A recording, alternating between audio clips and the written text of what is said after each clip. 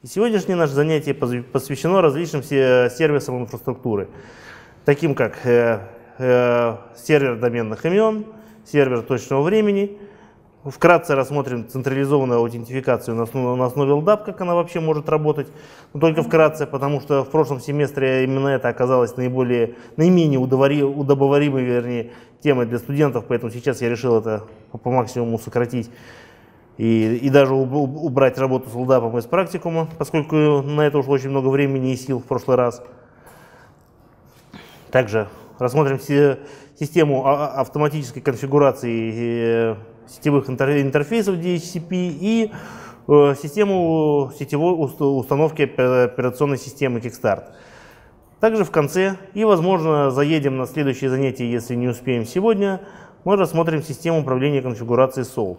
И, собственно, работе с этой системой управления конфигурацией, а также работе с DNS-сервером будет посвящено четвертое домашнее задание. Итак, значит, э, приступим. О том, как, как устроен протокол DNS и для, для чего он нужен, мы говорили на третьем задании. Может кто-нибудь попробовать это вкратце рассказать? О том, какую задачу вообще решает протокол DNS.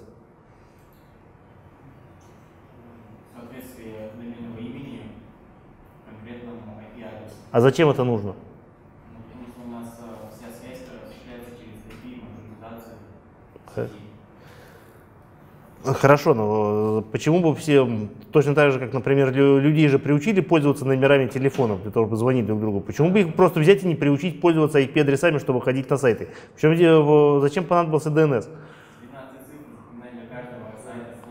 Ну, оказалось же, но, но люди же научились запоминать телефонные номера. Ну, так они там определенное количество их запоминали. Ну, часов достаточно. Название сдачи важно тоже, чтобы понять. А, п... Хорошо, но здесь мы говорим о том, почему вообще появились эти названия хоста, почему бы не обойтись адресами. Если даже предположить, что люди бы их запоминали, кроме того, это не вся 12 цифр, это может быть и 4 цифры. На, на, наоборот, вы представьте себе, какие деньги бы сделали те, кто продавал бы там четырехзначные IP-адреса. Да. Потому что э, сайт может неограниченное количество IP-адресов. А, Хорошо, да. Их число ограничено Э, ну, если пренебречь э, зарезервированными подсетями 4 миллиардами. Казалось бы, на первый взгляд достаточно. Проблема в том, что IP-адреса часто привязаны к конкретной инфраструктуре. Например, IP-адрес выдается конкретной организации, скажем, хостинг-провайдеру или какой-то крупной интернет-компании, но сайт может переезжать с одного из них на другой. И очень сложно всех заставить запомнить сначала один IP-адрес, а потом через месяц другой, а потом через полгода еще третий и четвертый. Дело в том, просто взять, взять и сохранить свой адрес при, при смене, например, хостера э, не выйдет. И для того, чтобы имена сайтов и прочих ресурсов в интернете, поскольку DNS и э, Э, ну, сначала вообще маршрутизация с по, протоколу IP и DNS для того, чтобы э, можно было пользоваться доменными именами, появились гораздо раньше, чем э, э, протоколы HTTP и браузеры. Э, вообще для, для того, чтобы можно было какие-либо ресурсы в интернете, не обязательно, не обязательно сайты, да не было тогда сайтов, ну что угодно, почтовые серверы, э, BBS-терминал, все что угодно, что тогда использовалось, можно было Э, обращаться по, по одному и тому же имени, независимо от того, где, где же сейчас хостится тот или иной ресурс, чтобы, чтобы отвязать конкретные ресурсы от инфраструктуры, на которой они на данный момент развернуты. Для, в первую очередь именно эту задачу и решал протокол DNS. Когда интернет был совсем маленький, да, протокола DNS, собственно, не существовало, но такая задача уже стояла, и для этого использовались файл hosts. Он существует уже со, со, со самых древних времен, и э, э, э, в, те годы, когда узлов в интернете были десятки или сотни, люди просто сообщали, что для, для их IP-адреса, для их ресурса поменялся IP-адрес, и все меняли его у себя в хост. Но затем, по мере роста количества ресурсов, поддерживать огромные файлы хост длиной в сотни тысяч, потом десятки тысяч и более со временем записи стало невозможно, и интернет-сервис консорциум решил, Standardization консорциум, пардон, э, разработал протокол доменных имен, э, решение доменных имен, который он назвал DNS, и параллельно с этим протоколом, как обычно поступает ASC, он разработал свою э, эталонную реализацию. Так, чтобы в случае каких-либо непоняток с протоколом, нужно было бы просто работать так же, как работает эта эталонная реализация. И она называется bind. Ее мы и, и рассмотрим сегодня. Про сервер bind появился очень давно в таком виде, едва ли не в первой половине 80-х, и сейчас актуальна его, его девятая мажорная версия с различными подверсиями уже. И тем не менее он остается одним из наиболее распространенных DNS-серверов. Если вам придется с каким-нибудь DNS-сервером в своей жизни столкнуться, то скорее всего это будет bind. Хотя не факт. Три. В каких вообще режимах может работать DNS-сервер? Во-первых, э, он может брать и отправлять и принимаемые запросы обслуживать, отправлять такие запросы на резолвинг тех же самых имен на какой-нибудь другой DNS-сервер, который ему указан в конфигурации. Это так называемый форвардер. Например, если вы у себя поднимете для чего-либо свой DNS-сервер в какой-то своей сети, то вы можете, например, в качестве форварда для него указать DNS-сервер провайдера. Однако понятно, что бесконечное количество форвардеров быть не может, и рано или поздно до, запрос должен поступить на DNS-сервер, который может обработать его самостоятельно. Таких DNS-серверы DNS серверы бывают двух основных видов. Те, которые не, не перенаправляют запрос э, дальше на апстрим, а решают его как-то сами. Первый из них это рекурсивный резолвер. Мы, я рассказывал на третьем занятии э, э, метод рекурсивного резолвинга записи. Вот, например, кто из вас может рассказать, что происходит при резолвинге доменного имени, скажем, www.google.com? Как, э, на какие этапы раз, разбит процесс разрешения этого имени? Ну, сначала ищется сервер, отвечающий за доменную зону .com. А где, как он ищется? А по идее вот эта база какая-то у него... Есть так называемые корневые серверы, обслуживающие корневую доменную зону, это зона точка. Э, у них можно спросить, где, какие серверы обслуживают э, домен, скажем, первого уровня ком, и обратиться к ним. Дальше. А, ну, дальше напро запрос направляется вот этому серверу, обслуживающему доменную зону, там, какую-то, например, ком. -hmm. Он смотрит у себя, если у него данных нет, то он смотрит, кто обслуживает доменную зону, ну, например, Google. Кто смотрит? Сервер обслуживающий. А, а сервер.com у себя, у себя не то, что смотрит, что данных нет, он, он ищет запись Google и видит, что это за запись типа NS. То есть это происходит делегирование до данного домена на другие DNS-серверы. И он об этом и сообщает, что этот домен делегирован, и нужно обратиться на соответствующие DNS-серверы. Далее, э, при рекурсивном резолвинге резолвер уже идет на DNS-серверы Google, те, на которые делегированы имя Google.com, и проверяет там. Понятно, что при таком, в таком случае может быть произвольное количество уровней вложенности, поэтому резолвинг называется рекурсивным. Просто повторяются все те же операции до тех пор, пока не удастся дойти до сервера, который наконец-таки может обслужить данное доменное имя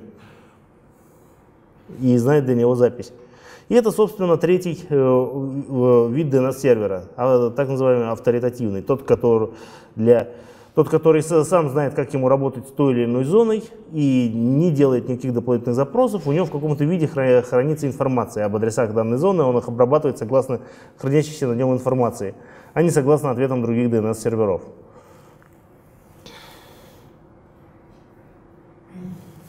Также, э, да, да, да.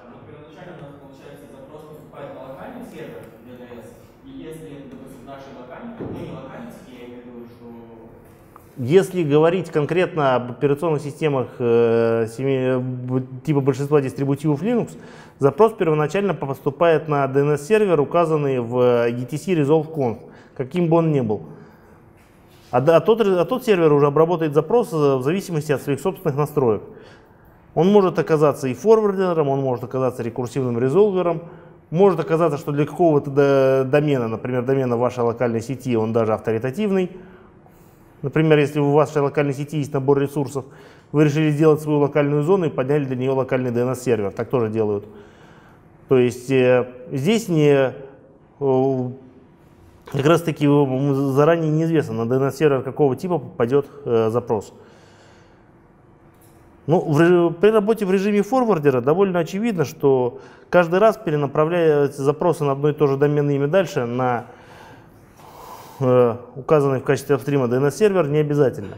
Ведь записи в DNS меняются обычно сравнительно редко, и можно на какое-то время э, у себя эту запись сохранить. Какое-то время мы, мы обсудим в дальнейшем, каким образом управлять, на какое именно время таким образом DNS-серверы имеют право кэшировать зону, как владелец зоны может это регулировать. И в течение данного времени э, DNS-сервер при получении запроса будет отдавать запись из кэша, а не действительно резолвить ее. При этом э, IP-адрес, указанный, скажем, на авторитативных DNS-серверах этого домена, мог уже смениться, но в течение определенного времени DNS-серверы, закэшировавшие старые ответы, будут, будут отдавать старый IP-адрес. С этим связано то, что, например, если ваш ресурс переезжает с одного IP на другой, в течение какого-то времени минимум так называемой тоталь-зоны, о, о нем поговорим в дальнейшем, нужно обеспечить работу этого ресурса и на старом, и на новом адресе. О том, как работает рекурсивный DNS-резолвер, мы уже обсудили. И предлагаю вот, э, теперь, прежде чем мы начнем конфигурировать свой DNS-сервер, обсудить еще один, один очень важный аспект конфигурации DNS.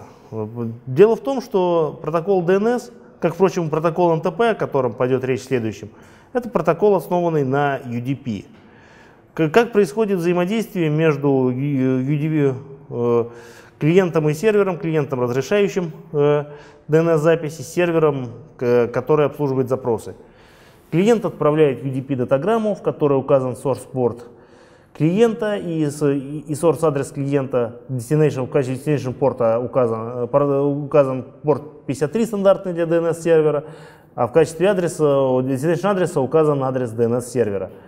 DNS сервер э, отвечает на этот запрос в качестве source порта указывает 53, source адреса указывает свой, а в качестве destination адреса указывает адрес клиента и destination порта порт клиента. Соответственно, возникает э, совершенно очевидное рассуждение. А что будет, если, во-первых, мы заставим DNS-сервер отдавать ответы, которые сильно, сильно превышают по размеру запрос, который мы на него отправили. Запрос короткий, разрезовывать просто такое-то имя, а предположим, что это рекурсивный резолвер, э, который готов разрешать э, записи для всех доменов. И мы делаем свой собственный домен, а в нем огромную запись типа TXT. DNS, как я уже рассказывал ранее, поддерживает э, текстовые записи, и туда можно вписать текст довольно большого размера. Что будет, если мы в качестве source адреса в UDP датаграмме укажем адрес сервера, который нам почему-то не нравится. Отправим запрос на резолвер именно этого имени, приводя содержа, содержащего очень длинный ответ DNS-сервера. И, да, в таком случае DNS-сервер получит запрос, обработает его и датаграмму с ответом отправит на тот destination адрес, который был указан в source адресе по датаграммы, которую он получил. И таким образом, используя довольно небольшую полосу, можно заставить DNS-сервер отправлять гораздо больше трафик на сервер, который нас не устраивает. А если мы таких DNS-серверов найдем несколько или даже очень много, то можно, можно используя всего один адрес с очень небольшим каналом, устроить э, а, атаку на, на исчерпание канала на, какой, на какой-то ресурс, который нам по какой-то причине не нравится, да, за, за счет того, что ответы, которые сервер будет, на него отправ... будет отправлять ему, а не нам, будут значительно превышать по размеру запроса, которые мы на него отправляем. И амплификация в таком случае может достигать десятков и даже сотен раз. То есть, имея 1 гигабит канала, можно устроить атаку в десятки и сотни гигабит. Понятно, что администратору DNS-сервера не хочется быть э, в качестве узла ботнета для подобной атаки. Э, поскольку и за трафик придется платить, и какие-то проблемы в случае, если атака была на, на какой-нибудь чувствительный ресурс, у него могут возникнуть. Поэтому необходимо соблюдать простое правило. Рекурсивный резолвинг должен быть разрешен только для адресов, которым вы доверяете. Если вы не Google не можете себе это позволить, как они сделали с 8888, публичные рекурсивные резолверы делать нельзя. Например, вы разрешаете рекурсивные запросы только из своей собственной серой локальной сети или со своих серверов, а из мира э, э, рекурсивный резолвинг должен быть запрещен. У авторитативных DNS-серверов, которые должны резолвить из мира записи вашего домена, Э, рекурсивный резолвинг должен быть выключен. Таким образом, чтобы из мира можно было через них резолвить только доменные имена тех доменов, для которых он является авторитативным. Таким образом, конечно, тоже, наверное, да.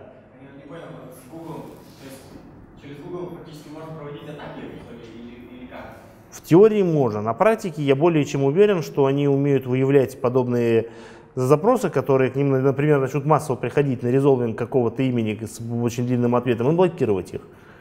Google это крупная компания с очень серьезными ресурсами, они могут себе позволить сделать публичный DNS-сервер, который э, узлом подобного ботнета не будет. Если вы просто разрешите на своем DNS-сервере рекурсивный резолвинг из мира, он немедленно станет узлом такого ботнета, так как их постоянно сканируют и находят просто отправляют э, запросы на 53, на 53 порт на резолвинг тестовых э, имен из домена злоумышленника. И если вдруг какой-то сервер на них ответит, о, значит, и э, появился еще один незакрытый рекурсивный резолвинг. Немедленно включаем его в ботнет.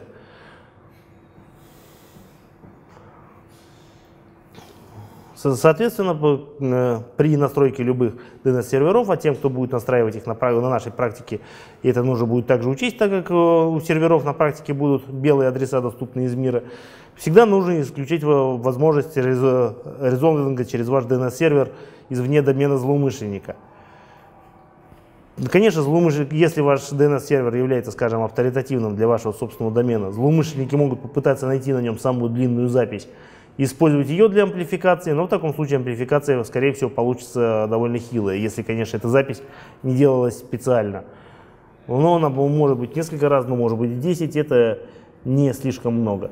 А, ну, имея гигабитный канал, вы так устроите атаку все, ну, в 5-10 гигабит. Ну, не, этим уже никого не удивишь. Так, перейдем к конфигурации DNS-сервера Bind. Предлагаю установить пакет Bind на учебные виртуалки для того, чтобы начать его конфигурировать.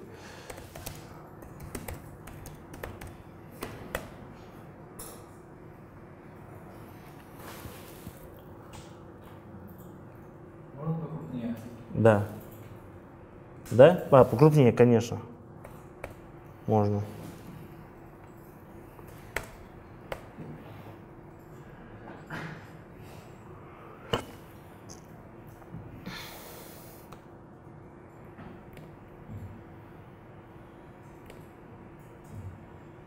Его конфигурационный файл находится в etc на named name.conf. В данном случае с настройки по, по, по умолчанию DNS-сервер разрешает э, отправлять к вам запросы только на, с локального хоста, поэтому при совсем-совсем настройках по умолчанию он узлом ботнета оказаться не может рекурсия включена.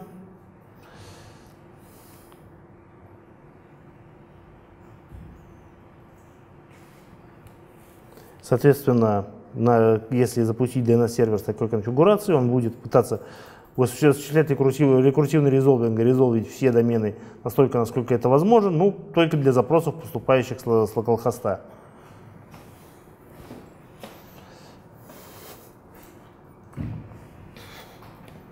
Подготовим там конфигурацию э, примерной зоны. Например, прямой зоны example.com.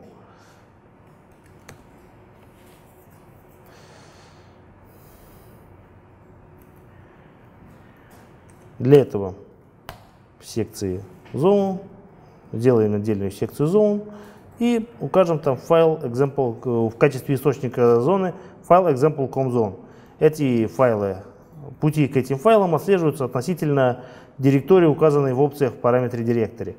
Также стоит обратить внимание на то, что в данном случае слушать DNS-сервер будет только на локальном хосте, и к нему даже обратиться извне будет нельзя, не то, что получить ответ.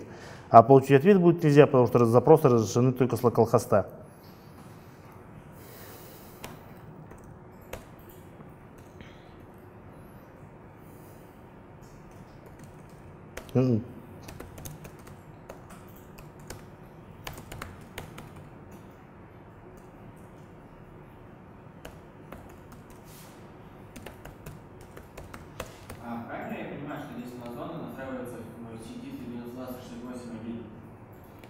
А, какое, какое это имеет, с вашей точки зрения, значение? Ну, видимо, не какое, раз мы только с локального хоста можем смотреть. Видите ли, в зоне могут находиться любые записи, независимо от того, в какой именно сети, сети находится DNS-сервер. То есть, к примеру, вы можете сделать DNS-сервер, которого будет авторитативная Э, который будет считать себя авторитативным для зоны, скажем, Google.com. Вам просто вряд ли без каких-то э, э, методов взлома удастся заставить неподконтрольные вам компьютеры резолвить через него имена, но подконтрольные вполне. Вы можете делать его глубоко в локальной сети и даже без доступа во внешний мир. А при этом он может запросто брать, отдавать произвольные адреса, в том числе белые. Здесь как раз никакой связи нет. Рассмотрим содержимое типичного файла зоны. Для этого зоны задаем TTL в, в 600 секунд отдельно. Это один из способов задания TTL, я здесь привожу оба. Задать переменную доллар $TTL в 600. Второе место, где TTL будет задан, это так называемая SOA-запись. Сразу увидим формат записи. Собачка означает данный домен.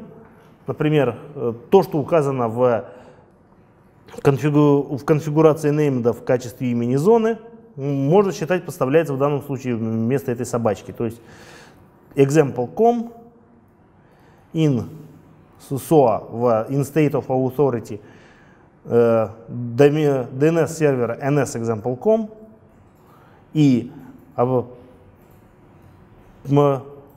почтовый адрес hostmaster собака example.com Однако, как мы видели несколькими секундами ранее, собака это зарезервированный символ в файле зоны, поэтому здесь просто после, по, самая первая точка меняется на собаку и, и получается почтовый адрес.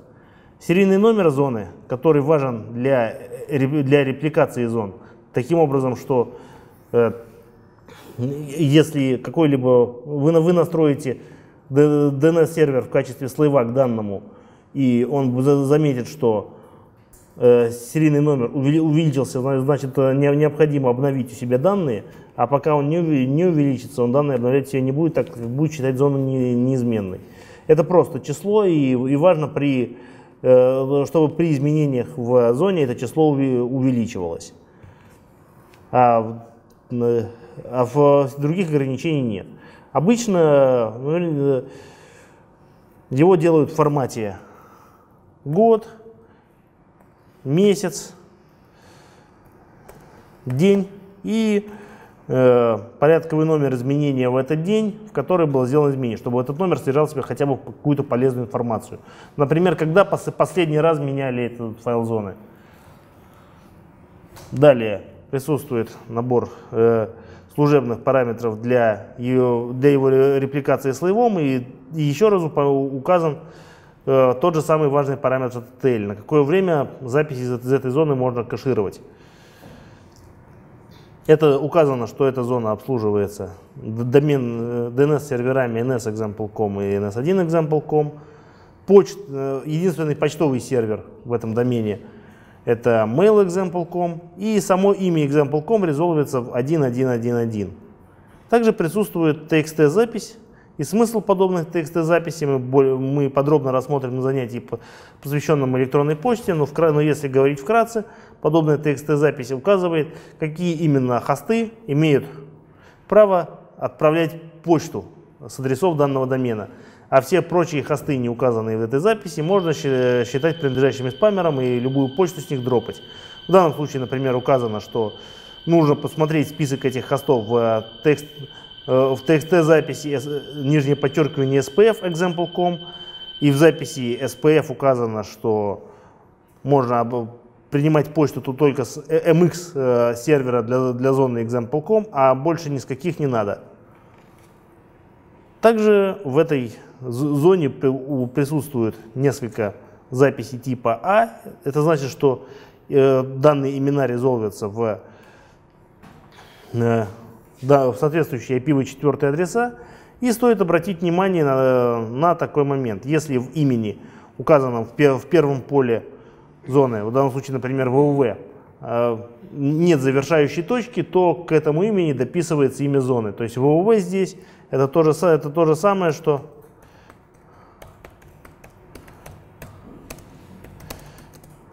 Вот эти, вот эти две записи на этих двух строчках эквивалентны. Вот это будет э, дописано автоматически. Завершающая точка означает, что это полное доменное имя и больше ничего к нему нигде дописывать нельзя. Также в, в dev NS это, это точно такой же э, IP-адрес, как и э, а, точно такая же А-запись, как и www. А здесь приведен пример делегирования. Предположим, что dev.example.com делегируется на другой DNS-сервер. И другой DNS-сервер должен обслуживать все записи для этого поддомена. В таком случае там делается NS-запись. dev in ns, dev ns example.com. Соответственно, все запросы на данный домен и все запросы на поддомены данного домена при рекурсивном резолвинге будут этим DNS-сервером перенаправляться на следующий. То есть он не даст IP-адрес, скажем, для dev example.com, или что-то там .dev.example.com, а скажет, обращайтесь вот на другой, на другой DNS-сервер. И произойдет следующий этап рекурсивного резолвинга. Также устроены и предыдущие этапы делегирования с точки на com, с com на example. И как вы считаете, чего в этой зоне явно не хватает? Каких-то записей здесь, наверное, нет, из тех, которым здесь стоило бы быть.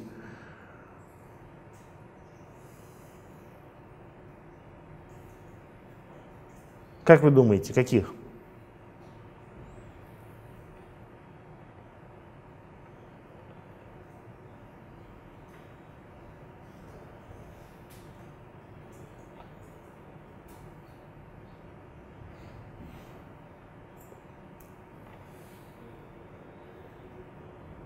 Ну, наверное, записи из домена example.com, которые упомянуты в этой же самой зоне. Вам так не кажется? Например, здесь упомянута запись nsexample.com, а ее на самом деле здесь нет. Э, сделаем так, так, такие записи.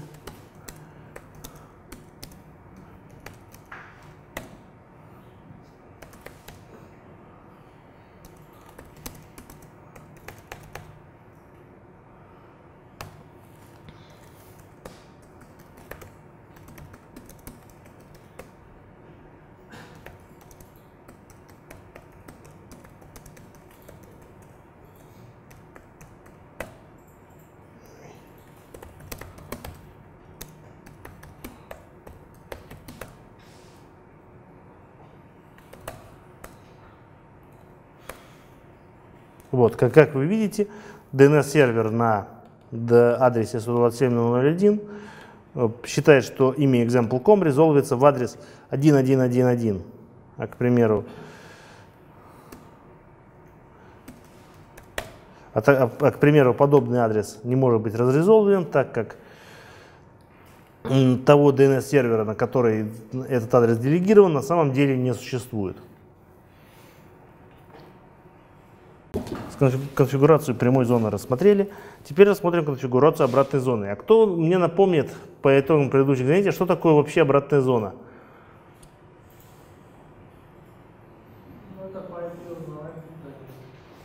Что-что? Домен. А, а зачем это, например, нужно?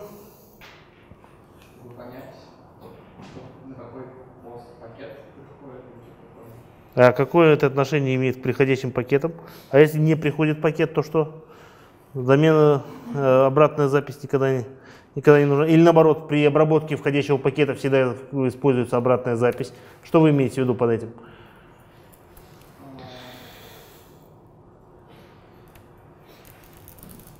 Вот к нам пришел какой-то пакет, не знаю, что с ним делать, да? А и, и вы принимаете решение, что, что делать с пакетом. А по какому протоколу при этом, вы- какой протокол вы имеете в виду? При работе по какому протоколу вы считаете используется обратная зона для принятия решения, что делать с входящим пакетом? Нет. Это вообще не имеет отношения в данном случае, в общем случае, к работе протокола. От- Относится лишь к следующему. Какое и- именно доменное имя при- принадлежит данному IP-адресу с точки зрения владельца IP-адреса. Прямая зона указывает, какое, на каких IP-адресах с точки зрения владе- владельца данного домена находится данный домен и его поддомены. А здесь э, представлена обратная точка зрения, точка зрения владельца IP-адресов. И ну, в некоторых случаях для солидности нужно, чтобы эти точки зрения совпадали. Например, если вы с какого-то адреса получили письмо, одна из базовых проверок, которые делают многие алгоритмы защиты от спама, это убедиться, что, э, то, что во-первых, у адреса есть обратная зона, а во-вторых, то имя, которое указано в обратной зоне, резолвится в тот же IP-адрес, с которого оно пришло. То есть, что, что здесь есть э, некоторое согласие. Как, как, как минимум, и владелец этой подсети действительно согласен с тем, что там находится такой сервер. Э, Также обратная зона может быть нужна, например, вам для работы с вашими с, э, находящимися в ваш- в вашей сети хостами для удобства. Если вы видите где-то при взаимодействии с, с таким-то IP-адресом, вы можете быстро посмотреть, или даже утилита какая-то посмотрит быстро за вас, какого же именно хо- хоста, о каком же именно хосте идет речь, и, например, отобразит вам его имя вместо адреса, так вам будет, э, возможно, удобнее работать. И э, у, об- у обратной зо- зон- у имени обратной зоны есть определенный формат. В данном случае создадим обратную зону для подсети 192.68.1. А почему, а почему вот у этой обратной зоны вот такой формат? 1, 168, 192 и определенное зарезервированное имя и надр арпа. Если создаем обратную зону для подсети 192, 168, 24, почему он, э, актеты в обратном порядке? А? Рекурсивный резолв происходит как? А, поясните, что рекурсивный резолвинг? Ну, когда мы ну, как мы там хотим а, выяснить а, по IP-адресу после, ну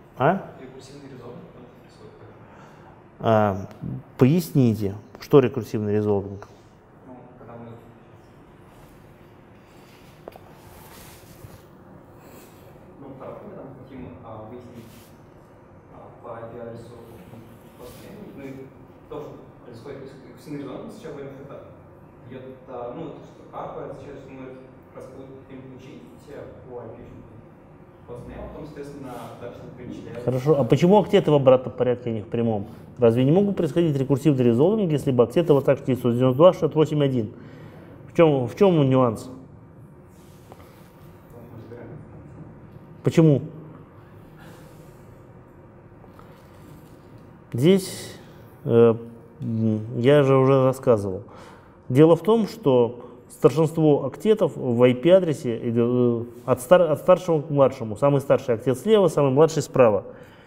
В доменном имени на- напротив самого, домена самого низкого уровня э, справа, а самого высокого уровня слева. Таким образом, например, если владелец более широкой подсети часть своей подсети делегирует кому-то еще, у него должна быть возможность делегировать и возможность э, задавать в ней обра- обратные записи. Соответственно, пред- представим себе, ну, гипотетические случаи, забудем на секунду, что это серая сеть, что есть э, владелец подсети 268.0.0.116. И Ему э, на, на серверах, обслуживающих домены на Адрарпа, выделено, право э, задавать обратные зоны для всей этой большой 16 подсети. И одну из 24 подсеток, например, 192.68.1.0, 124, этот э, владелец этой большой подсети тоже кому-то продал. И вместе с ним он должен предоставить э, возможность задавать э, э, обратные записи. Для того, чтобы ему это сделать, ему нужно создать у себя поддомен и делегировать его, как мы это делали только что. Для этого нужно, чтобы более младшему актету один здесь соответствовал более младший домен. Более младшие актеты идут справа, более младшие домены идут слева. Поэтому по порядок э, и изменен. Соответственно, для примера создадим файл зоны 192.68.1 и надо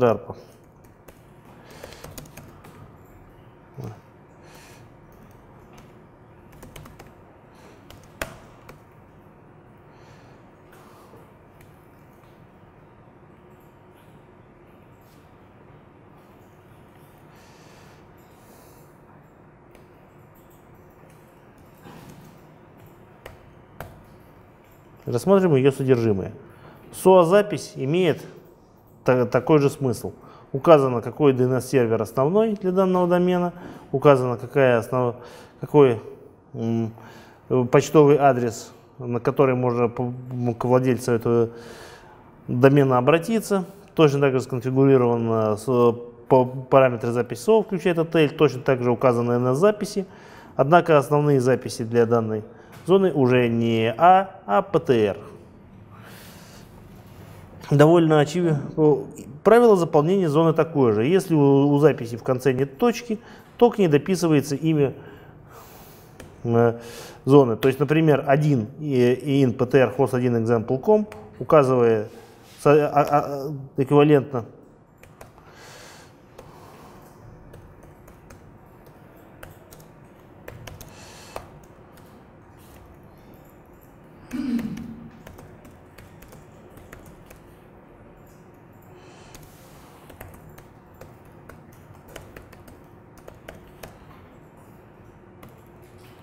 Вот эти две записи, э, один InPTR и один 1.168.82 надо ARPA InPTR в данном случае эквивалентны.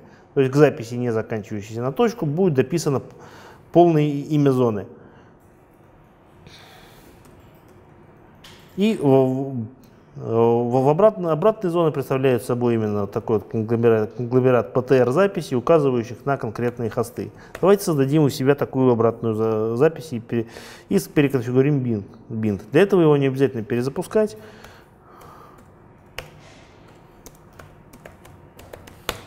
Выполним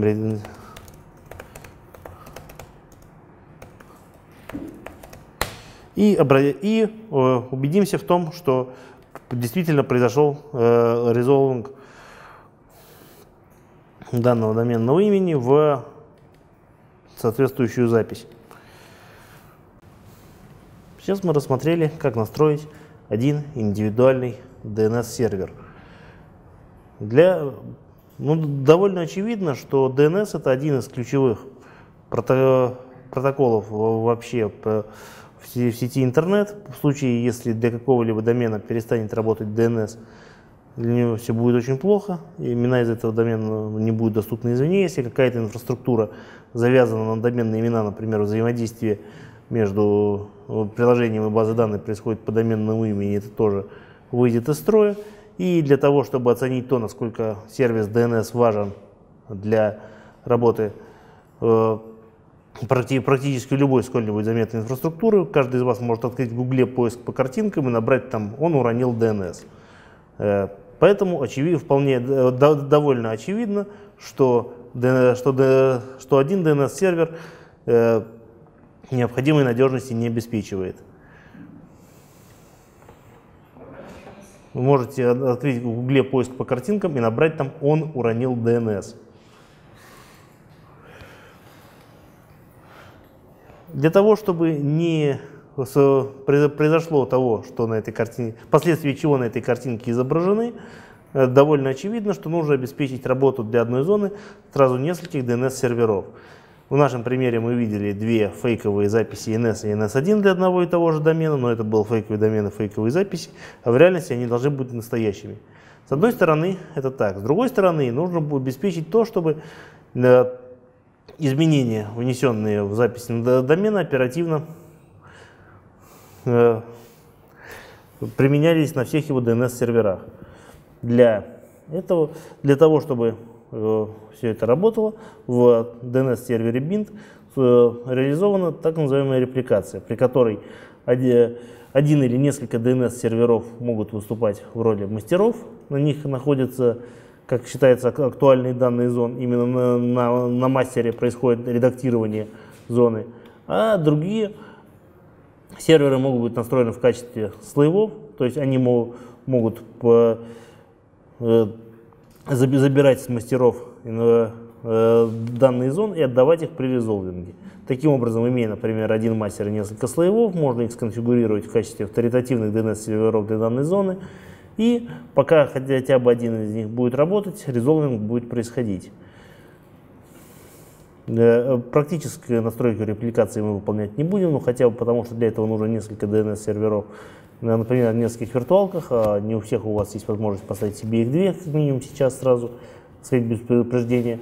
Поэтому конфигурацию репликации мы оставим на домашнее задание.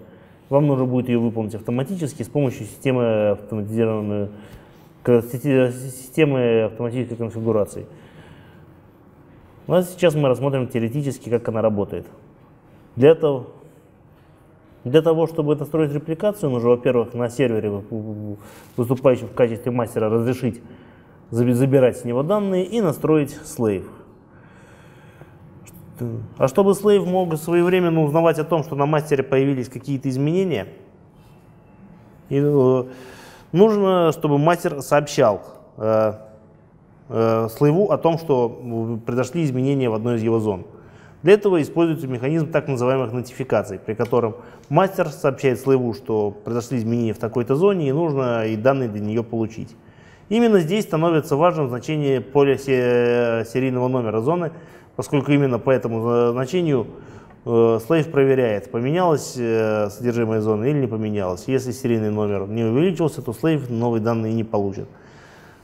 Поскольку конфигурировать пару мастера и слейв сейчас мы не будем, просто сконфигурируем мастер и продемонстрируем, каким образом работает э, репликация.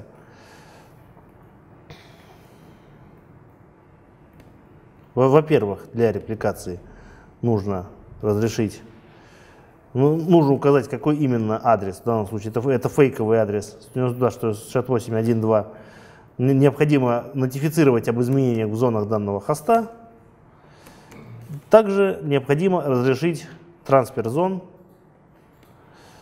Для этого же для необходимого набора хостов. Для, здесь мы разрешаем трансфер зон для локального хоста и для того же нашего фейкового DNS-сервера 192.68.1.2 которые бы даже, если бы существовал, не смог бы все равно обратиться и получить данную зону в данной конфигурации, потому что, как вы думаете, почему?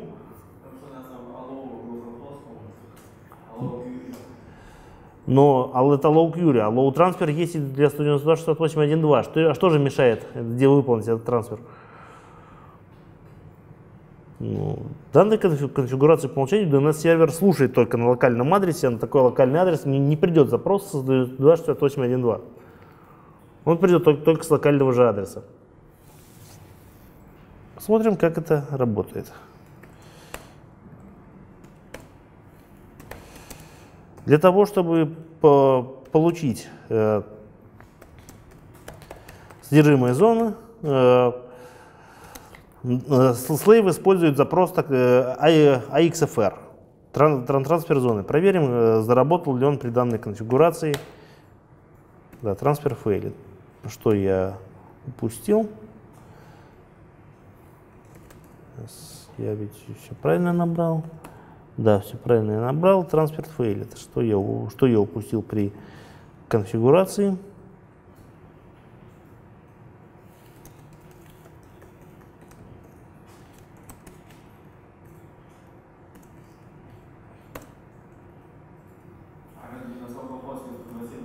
Да, я на всякий случай это вписал, поскольку локалхоз на самом деле это не только 127.01. Это еще два двоеточия. Один, это, который IP6 локалхост. Смотрите. Источником записи локалхост является ETC хост. И локалхостов, как вы видите, здесь два. Только один из них 127.01, что очевидно. А, ну конечно же. Я просто ошибся в синтаксисе команды dig. Что же я делаю? Я не указал там, он просто пытался рассматривать 127.01 как э, еще одну зону. А в, синтаксисе DIG э, DNS-сервер, на который отправляется запрос, нужно указать собачкой. И вот произошел трансфер зоны. в, в том, что было получено при трансфере, э, очевидно то, о чем я говорил, что вместо собаки подставляется имя зоны. Для имен в этой зоне, которые не заканчиваются на точку, также дописывается в качестве, они то все дописываются в качестве поддомена к имени зоны. Там, например, есть там запись в 3W, а здесь она превратилась в 3w.example.com. И для всех этих записей выставился TTL, указанный в данной зоне 600 секунд. То есть э, каждую из этих записей кэширующий DNS-сервер имел бы право кэшировать на 600 секунд. И вот в таком виде слейв получит у себя эту зону и для себя эту зону и сохранит. Но настройкой слейва вы, вы займетесь в рамках четвертого домашнего задания. А сейчас мы, с позволения, перейдем к следующей теме, которая почти так же важна как DNS, почти, а именно конфигурация на ваших серверах все э, службы точного времени для того, чтобы время на серверах не, не разъезжалось, что может приводить в зависимости от того, какие приложения вы используете, к самым различным проблемам. Э, вплоть до в использования определенных методов авторизации невозможности авторизоваться на данном сервере. Э, в качестве и сервера, и клиента точного времени выступает демон NTPD. Он, он умеет сам работать в качестве сервера и позволять другим, се, э, сервер, другим э, хостам э, получать точное время у себя в случае необходимых настроек. Он умеет получать с других NTP-серверов тоже время и настраивать его на данном хосте. Рассмотрим пример, пример его конфигурации, который находится в ETC NTP-Conf. Здесь, опять же, для данного протокола NTP и для того, как работает NTPD, а, вот здесь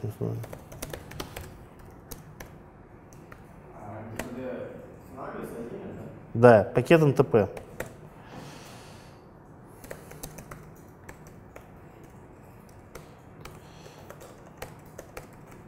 NTP. НТП-конф, пардон, не НТПД-конф. Да, я, я сейчас чуть ошибся, не то сказал. НТП-конф.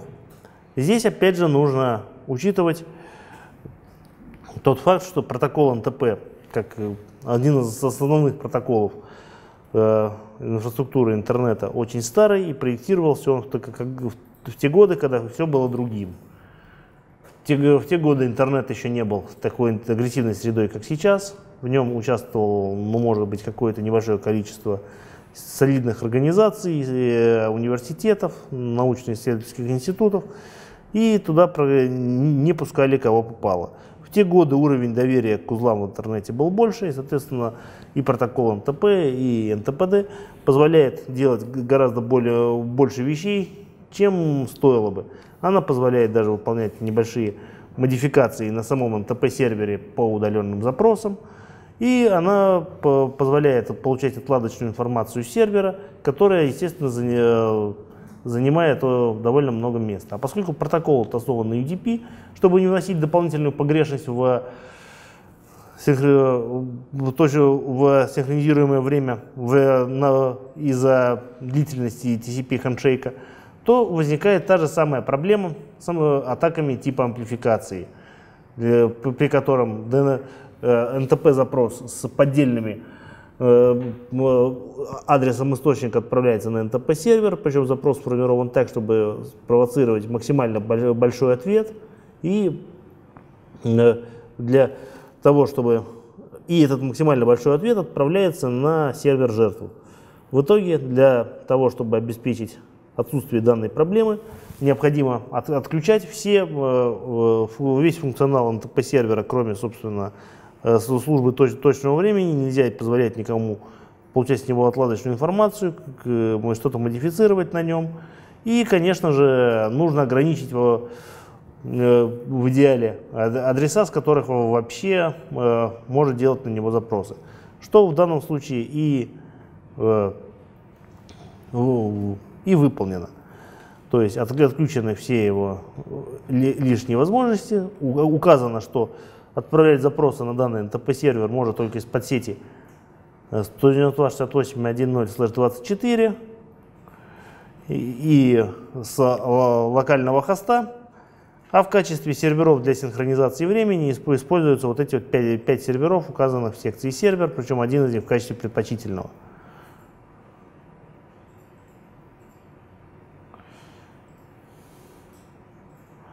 Пробуем запустить сервер точного времени проверить, что он работает.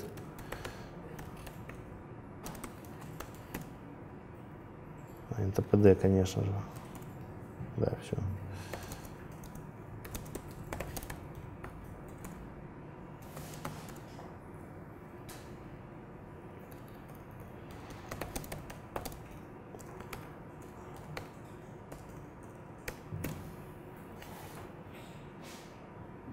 Да, НТП, запу, НТПД запустился и выполняет синхронизацию времени на данном хосте со всеми остальными.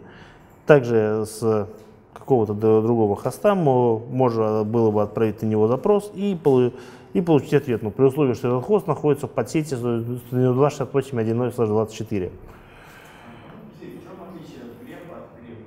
Да, fgrep э, э, это то же самое, э, что grep минус f заглавный. Он ищет только по фиксированным строкам и не использует никакие Э, служебные символы типа каретка, начало строки, доллар, конец и так далее. Никакие базовые регулярные выражения. Он и, поэтому он ищет несколько раз быстрее.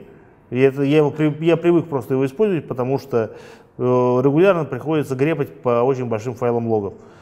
Итак, предлагаю всем сконфигурировать себе пример NTP сервера, но это должно быть гораздо проще, чем с DNS сервером, всего один файл, и убедиться, что он работает.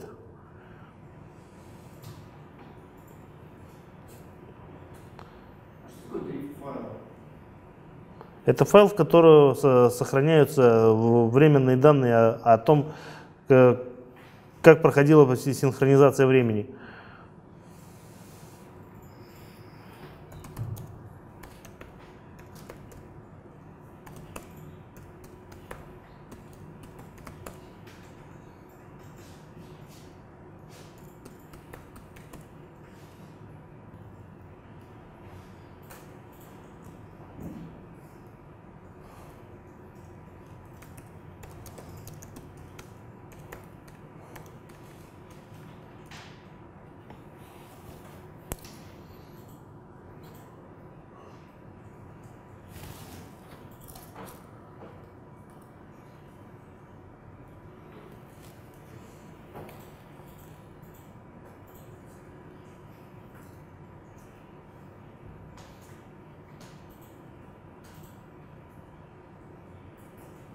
Но здесь, я думаю, ни у кого проблем не возникло. Кто, кто, все уже настроили успешно? Или кто еще не, не настроил у себя НТП?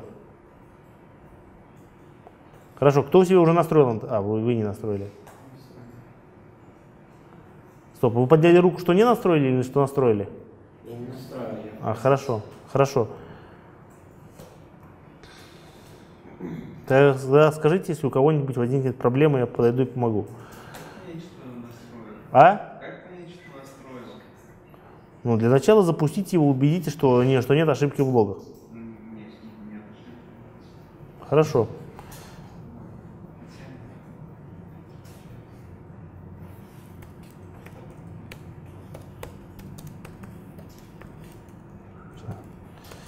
Проверим. Сейчас. Э, вот.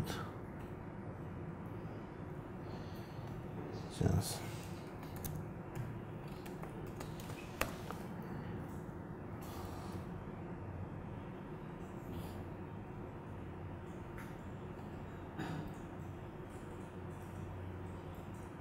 Вот, да.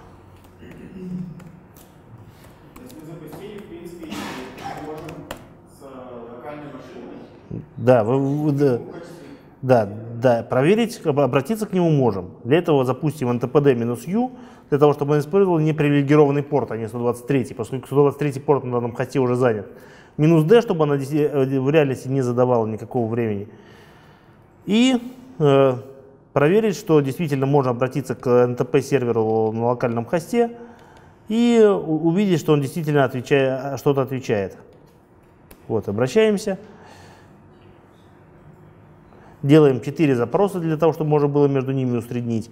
Как вы понимаете, 4 запроса это в два раза точнее, чем один запрос.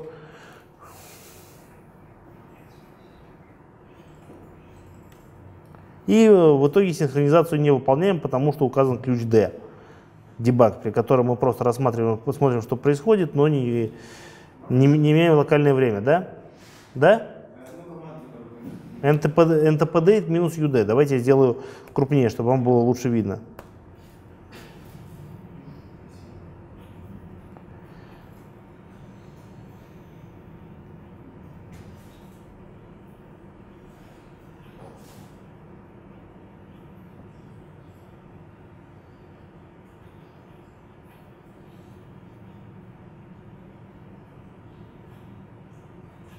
Да. И э, короткий вопрос для тех, кто внимательно послушал да, на третьем занятии. Здесь указано в числе прочих данных, полученных от нашего NTP-сервера, Stratum 3. Что это означает?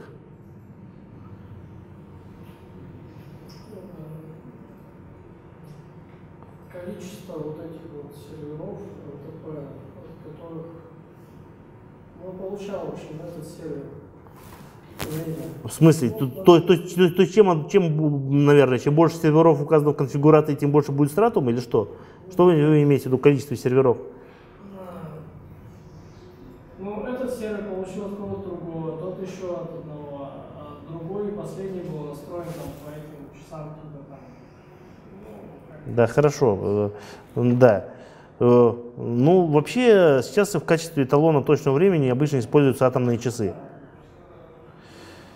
И, соответственно, NTP-сервер, подключенный непосредственно к атомным часам, синхронизирующийся прямо с ними, а не с каким-то другим NTP-сервером, будет иметь стратум 0. Тот, кто синхронизируется непосредственно с, э, ним, стратум 1 и так далее. А, то есть мы заранее знаем, с- сколько у нас промежуточных серверов находится? Да, то есть мы знаем, как, вот, вот каков уровень доверия к времени на этом сервере, сколько погрешностей было между ним и атомными часами. Здесь видно, например, что было там три погрешности между, между этими. То есть мы понимаем, что здесь время ну, может быть с точностью у нас до миллисекунды. А?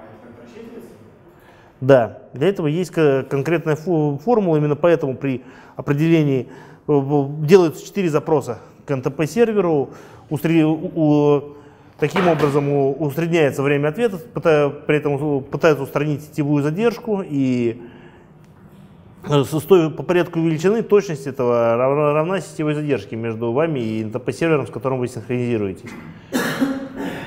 То есть, если, например, вы, вы в 10 миллисекундах от НТП-сервера, с которым вы синхронизируетесь, то в такой ситуации у вас тоже будет порядка, наверное, одной или десятка миллисекунд погрешность.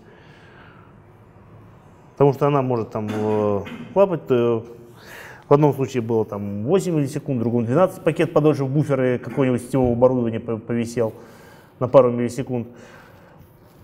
И и по, по выборке из, из, из четырех э, попыток э, вы с точностью, ну хорошо, ну может быть на порядок, на порядок меньше, чем сетевая задержка получите, но не лучше.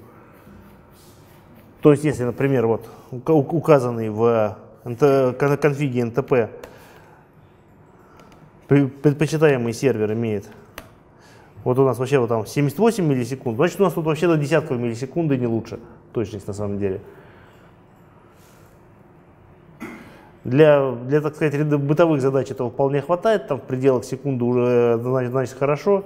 Для каких-то как, спе- специализированных вещей мо- могут, может требоваться более высокая точность. Для этого есть такая техника, при которой вы используете в качестве источника точного времени на вашем сервере спутники GPS. Э, И таким образом у вас получается сервер со стратумом 1, поскольку он непосредственно синхронизируется со спутниками, на которых атомные часы. И э, вы можете использовать его в дальнейшем для синхронизации времени на других серверах вашей инфраструктуры, которые находятся в локальной сети с минимальными задержками.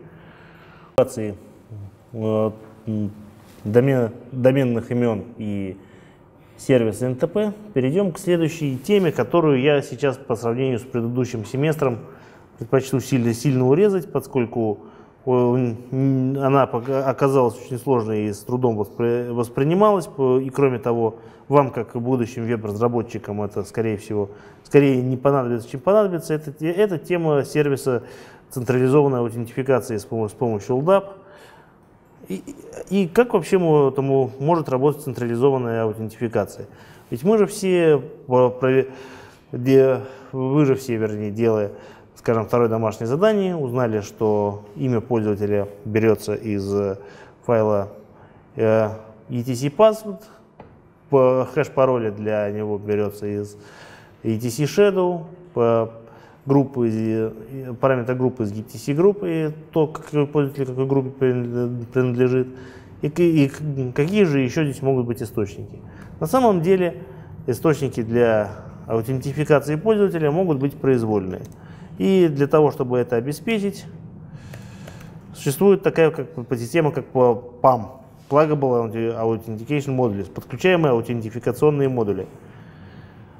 Для, прежде чем мы перейдем к рассмотрению того, что такое PAM, как она работает, и почему в, как, в каком-то конкретном част, частном случае используются такие файлы, как Shadow и э, password и групп, предлагаю определиться терминологией. Почему я здесь ломаю язык, пытаясь выговорить слово аутентификации?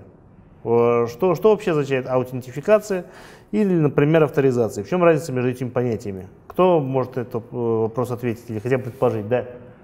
Аутентификация – это подтверждение явленных идентификаторов, а авторизация – это представление там пользователя. Да, все верно. А скажите, а возможно ли авторизация без аутентификации?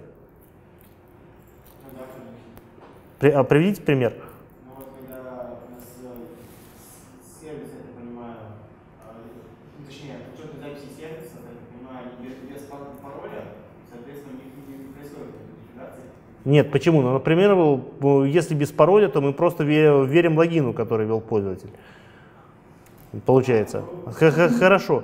А Давайте приведем более простой пример.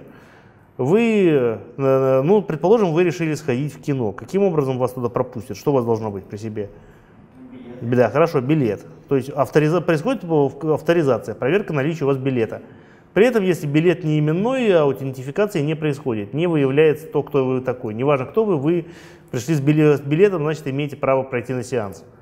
Такой же принцип иногда используется и в различных системах а- а- авторизации, что там происходит авторизация по токенам.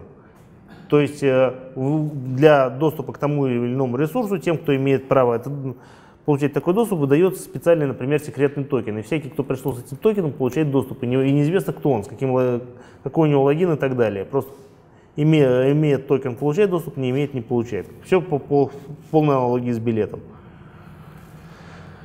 Так, перейдем к ПАМу. Конфигурация ПАМа находится в ETC PAMD, и, и даже беглый взгляд на эту конфигурацию показывает, что еще зам- одним замечательным свойством ПАМа является то, что он позволяет настраивать различные схемы авторизации для, для разных приложений. Можно видеть, что, например, для SSH, э, там, э, SSHD там применена, а, может быть применена одна схема для авторизации на, на почте, например, другая по SMTP и так далее. Рассмотрим, например, э, ос- основной файл PAM System Out, та э, аутентификация, которая происходит, когда вы просто ло- логините в систему. Видно, что, э, что используется на некоторый на, набор плагинов. Например, плагин AUS. Как, как именно происходит аутентификация? Например, для того, того, чтобы отработал данный плагин, разделяем библиотека PAMEnv да, требуется. То есть то, чтобы было проверено, были проверены переменные окружения и все было в порядке. Это необходимые условия, но недостаточные. Достаточным условием является, например, вып- выполнение э, по PAM Unix ISO, и именно в PAM Unix ISO сконфигурировано то, каким именно образом рабо- происходит Unix авторизация. И, э, к примеру, к примеру, э, аутентификация, пардон, и именно там сконфигурирована работа с локальными файлами. Для того, чтобы выявить, какой именно при- пришел пользователь, в данном случае считается достаточным проверить локального по- пользователя э, И это происходит, как мы уже знаем, через ETC password. Для того, чтобы проверить его пароль, также используется PAM-Unit SSO. И в качестве аргументов к нему передано, например, какой формат, формат хэша предпочтителен, откуда, какого источника этих хэшей, в данном случае это shadow, и может быть нормальным, если пароль пустой, например, в определенных ситуациях, как вы знаете. И кроме того, нужно проверить, не запрещен ли вообще доступ. Этим занимается PAMDNA ISO. Существуют и другие способы обеспечить э, аутентификацию. Например, очевидно, что не, не всегда удобным способом может быть распространение файлов э, Shadow, э, password и групп. И, э, например, предположите, в каком случае для реализации какого, какой, так сказать, схемы организации доступа это, это может оказаться неподходящей схемой.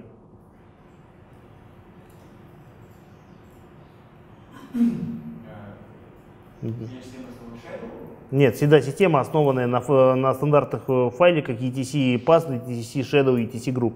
В каком случае это может оказаться не совсем подходящей схемой?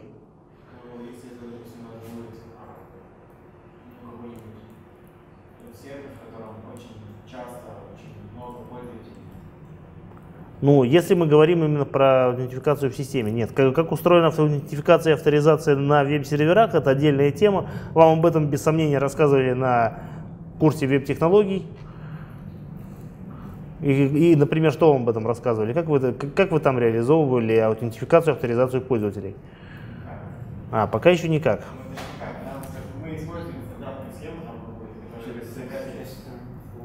А опишите вкратце, как эта стандартная схема работает. Надеюсь, все. Мы используем модуль какой-то.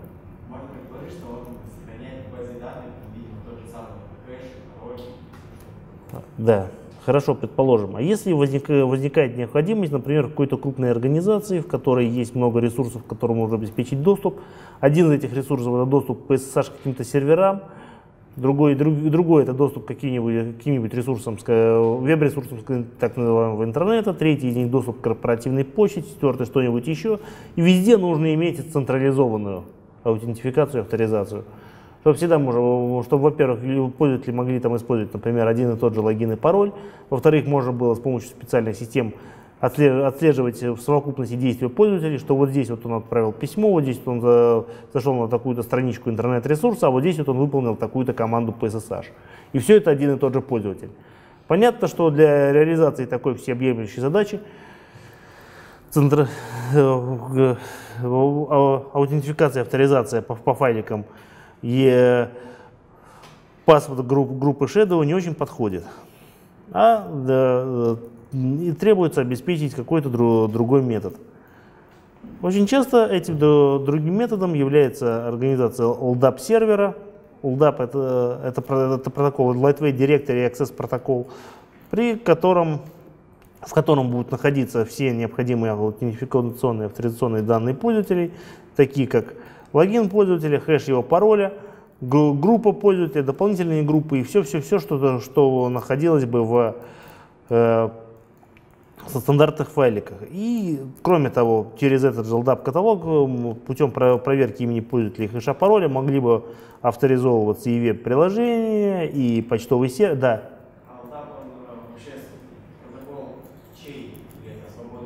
Свободный, свободный протокол. Да, Active Directory использует этот протокол.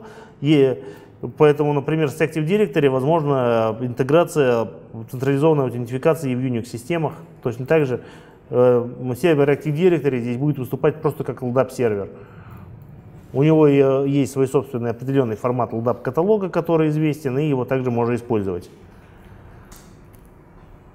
И протокол это совершенно свободный. Однако, и поскольку мы хотим закончить сегодняшнее занятие сегодня, и, и настройка LDAP клиента и LDAP сервера, она значительно сложнее настройки одной зоны в DNS. Я предпочту на сегодняшнем занятии это опустить. И более того, даже на, даже на практикуме, я думаю, мы не будем делать централизованную аутентификацию, авторизацию по LDAP в отличие, в отличие от того, что мы делали в прошлом семестре, поскольку раньше это заняло примерно половину практики. Тем, кто, кто из вас этим заинтересовался, поскольку все-таки это может требоваться, например, при разработке каких-то корпоративных ресурсов, которым может потребоваться интеграция с теми же доменами Active Directory, э, клиентам также может потребоваться делать э, модули аутентификации, авторизации ваших веб-приложений через него. Но если вы будете, например, делать общедоступные сайты, вам это будет нужно вряд ли. Так что э, я вам предлагаю при необходимости разобраться с этим самостоятельно, или, может быть, если, у кого, если хоть кто-то проявит к этому интерес, мы можем с этим дополнительно разобраться вместе. Сейчас перейдем к следующему вопросу. Следующий вопрос – это автоматическая конфигурация адресов. Э, как вы все понимаете, конечно, подход, при котором конфигурация э, сетевая конфигурация устройства выполняется вручную, если ему статически задается определенный адрес, определенные настройки сети, она довольно надежна и вполне себя оправдывает в случае, когда данное устройство значительную часть времени, а лучше практически всю свою жизнь, проходит, проводит в рамках одной и той же сетевой инфраструктуры. Например, это сервер, который вот всю свою работу в, качестве сервера проводит подключенный к одному и тому же коммутатору, к примеру, скоммутированный в одну и ту же сеть и, возможно, выполняя все, все эти годы плюс-минус одну и ту же задачу. Однако, как же быть в случае с более э, мобильными устройствами, например, с, вашими ноутбуками, с вашими учебными виртуалками или с устройствами, у которых еще нет какой-то их собственной конфигурации сети. Например, Э, компьютеров без операционной системы, которым эту операционную систему только предстоит еще установить. Для автоматической конфигурации сети применяется протокол DHCP. Э, э, Host Configure протокол. Для того, для того, чтобы получить адрес по DHCP, клиент отправляет UDP-датаграммы на специальный так называемый broadcast адрес – с 255, 255, 255, 255 и порт 67 с source адресом 0000, 60, порт 60, портом 68. Если DHCP сервер получает такой пакет, он, отвеч, он отвечает, предлагая, предлагая свои услуги, что вот я такой замечательный DHCP сервер, получи у меня адрес. Клиент после этого запрашивает у сервера адрес, и сервер выдает, выдает адрес клиенту. Схематично это выглядит так. Сначала клиент находит э, DHCP серверы, какой DHCP серверы клиенту отвечают, клиент запрашивает у них адрес, а сервер ему его отдает. А, да. До установления IP-адреса используются вот такие вот IP, IP, бродкастные IP-адреса. Я же говорю, вот адрес, а, да. Да. Да, пока он не знает, какой его адрес, свой адрес, он, в своем адресе он ставит все биты в ноль, а в адресе сервера все биты в единичку. И уже по, и вот таким образом происходит взаимодействие. Довольно понятно, что такие адреса в интернете не маршрутизируются, и это может работать только в пределах локальной сети. Скажем, вы можете задать вопрос, как, как же DHCP сервер может отправить ответ, он же видит, с какого MAC-адреса пришел запрос, и на этот MAC-адрес ответа будет отправлен. Вне пределов лока локальной сети DHCP в, в своем исходном виде работать не может, только если вы растянете, растянете локальную сеть, например, с помощью какого-то тоннеля, то DHCP сможет, сможет работать э, в, в рамках вне пределов. Ну, вернее, это даже вне ее пределов он работать не будет, просто вы таким образом растянете свою локальную сеть.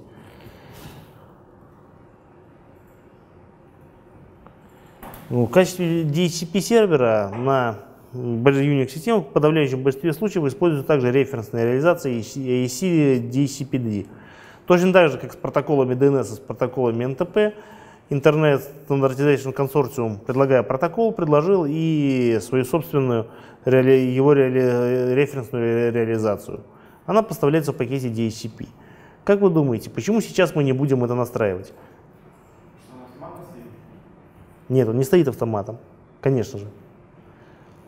Потому что сейчас для того, чтобы ваши компьютеры вообще могли подключиться, например, к сети Asus 430, который здесь используется, или к сети MIP, какой бы вы ни использовали, они получают адрес от того DHCP сервера, который сконфигурирован в этой сети, и, он им сообщает, какой у них должен быть адрес, какая маска под сети, какой шлюз и какие DNS-серверы им использовать. Но если вы сконфигурируете свой DHCP сервер, то в некоторых случаях он будет отвечать раньше того, который сконфигурировали администраторы сети. И, например, э, именно он может начать отдавать свои э, э, себя раньше вот по этой схеме, свои оферы, чем основной DCP-сервер, в таком случае просто сеть сломается. Будут, клиенты будут получать не те адреса и не те настройки сети, не от того DCP-сервера. И в случае наличия нескольких DCP-серверов, там два клиента также могут получить один IP-адрес, и будет происходить много таких нехороших вещей. Поэтому настраивать свой собственный DCP-сервер мы сейчас, конечно же, не будем. Мы рассмотрим его настройки теоретически. Мы можем настроить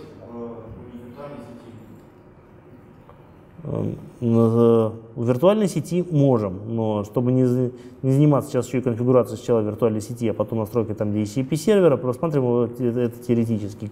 Кроме этого, поскольку еще все ошибутся по разу и по разу настроить свой DCP сервер в общей сети, а потом мы его перенесем в виртуальную, ну, в общем, лучше не надо.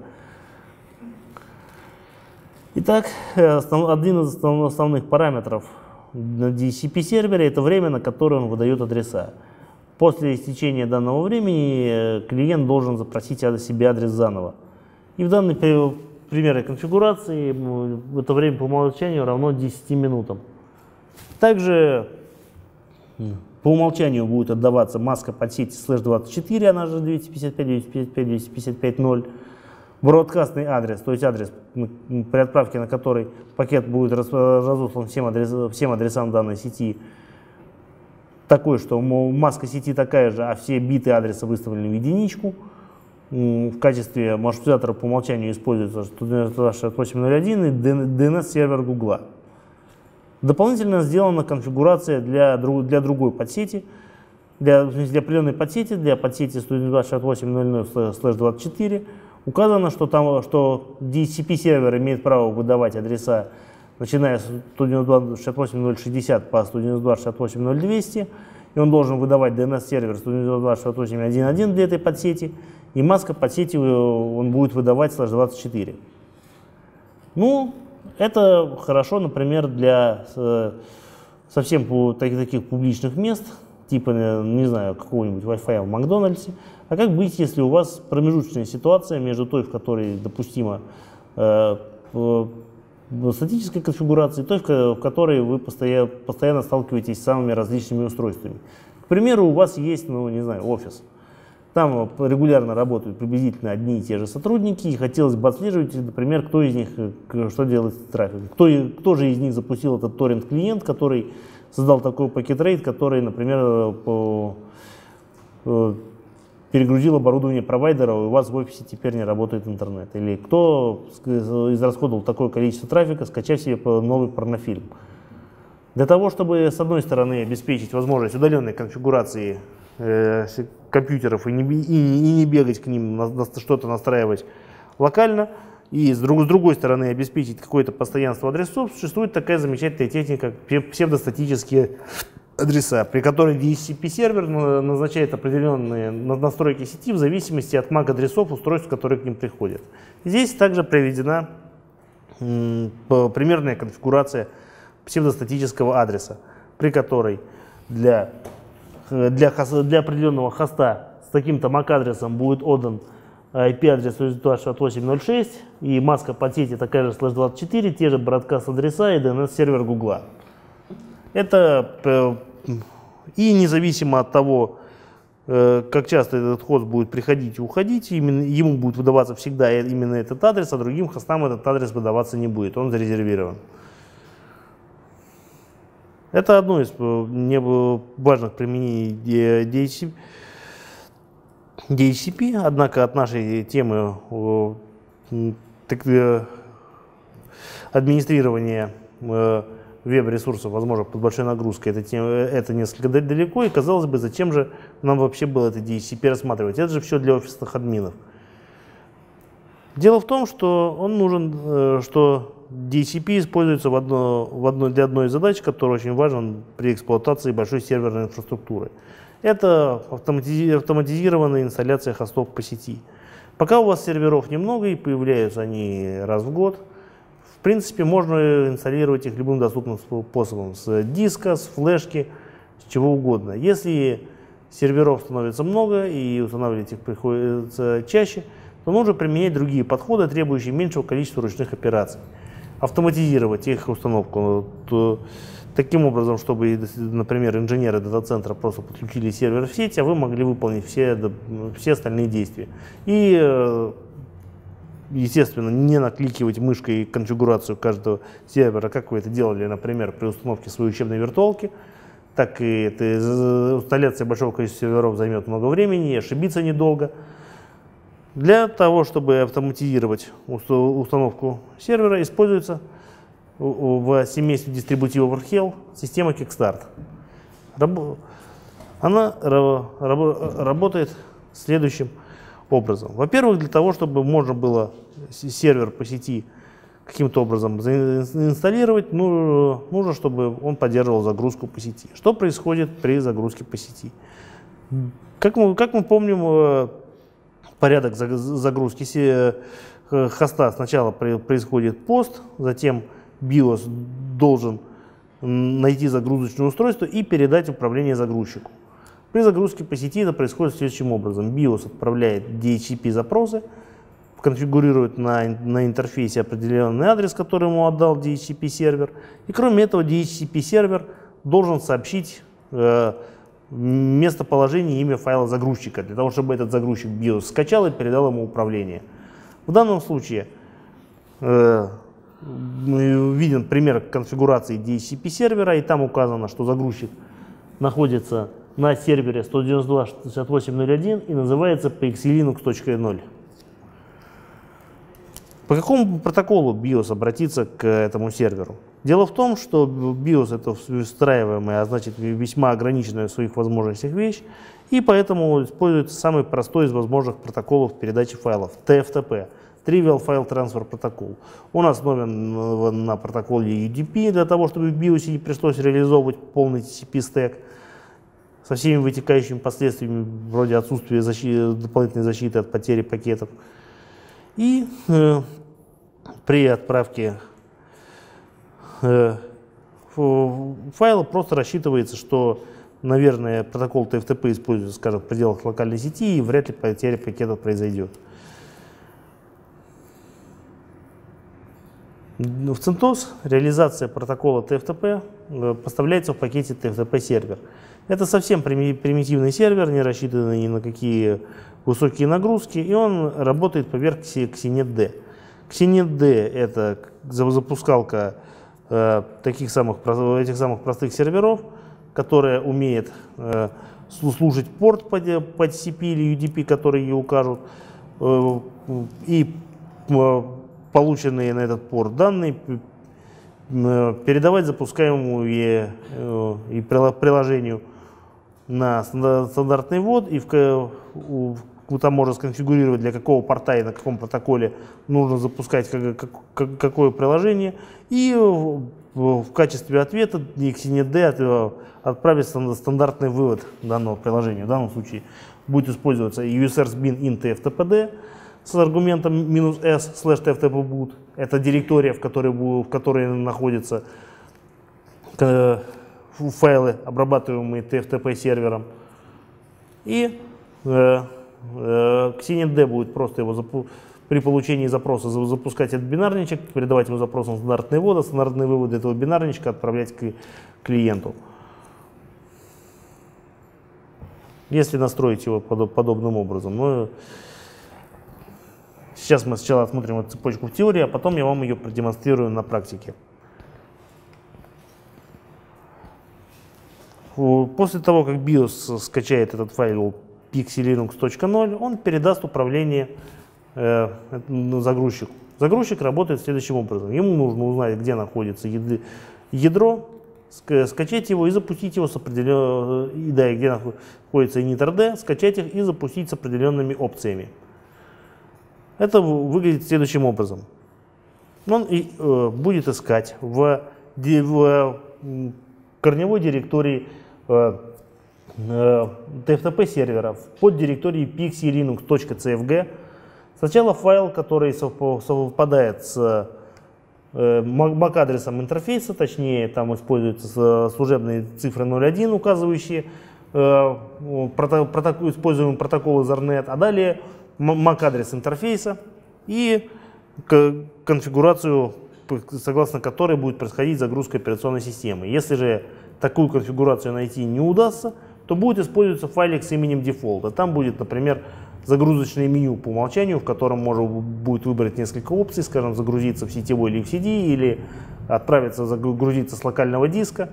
Но для того, чтобы автоматизировать установку хоста, нужно заранее знать MAC-адрес интерфейса, с которого он будет устанавливаться, и подготовить автоматически или вручную файл конфигурации, который будет доступен э, под директорией Pixel CFG Cornet FTP сервера, и там будет указано в первую очередь, где брать ядро относительно того же самого TFTP сервера, где брать initRD и какой конфигурационный файл Kickstarter использовать, где его взять. В данном случае из директории images slash 7 slash vmlinux берется ядро, из images slash 7 slash initRD mg берется initRD, а с э, подобного адреса 192.68.0.1 берется конфигурация Kickstart. Что такое? Kickstart, Kickstart это э, система автоматизированной инсталляции и конфигурации операционной системы, которая с определенными настройками может э, сконфигурировать начальную систему. То есть то есть там указывается, откуда именно брать образ, какие репозитории подключить, как, как настроить систему, например, какой задать пароль рута, как, как, как сконфигурировать э, диски, какие действия нужно выполнить после всего этого, например, можно задать дополнительные скрипты, какие пакеты должны быть установлены в системе и что сделать после окончания инсталляции.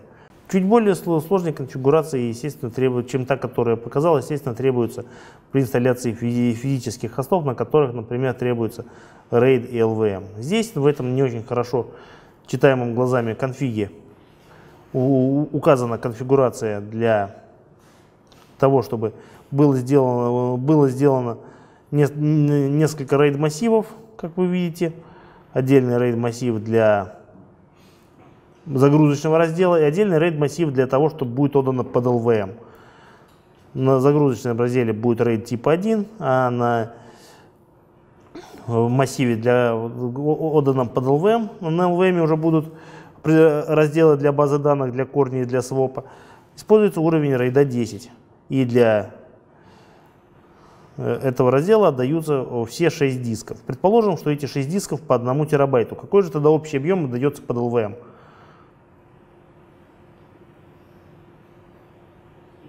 А? Да, верно, 3 терабайта, поскольку при 10 рейде используется объем половины доступных дисков.